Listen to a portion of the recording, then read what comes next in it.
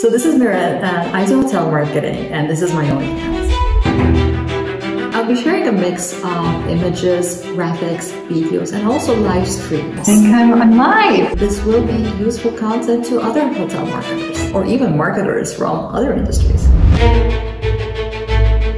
I'm a strong believer in the power of community. So that's why I'm very excited to be on OnlyFans and share what I know about. The marketing problems we all face are more or less the same. So regardless in which industry one is, I really hope the content I'll share will be useful. What I love about being a content creator is that I get to share knowledge and tips and expertise that hopefully will be helpful to other marketers as well. Bedtime stories is because it's really just before going to bed that I find myself asking, will it succeed? And hopefully it will.